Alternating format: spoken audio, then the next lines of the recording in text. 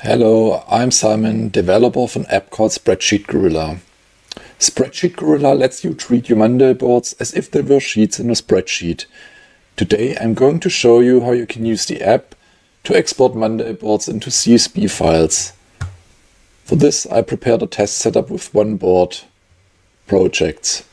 This contains three columns, the item name, total budget and budget left. Let's head over to the Spreadsheet Gorilla board view. We'll start by creating a new spreadsheet template.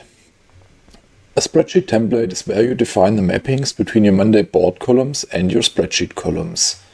We can specifically choose which columns we want to have in the spreadsheet by removing the ones we don't want to have.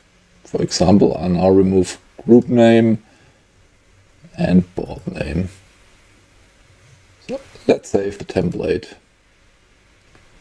Now, let's click on Create Spreadsheet. Here we have to choose well, which export format we want, in this case CSV. Click Next. Click Next again. Then Download. And open the CSV in Excel. As you can see, everything worked. Thank you very much for watching.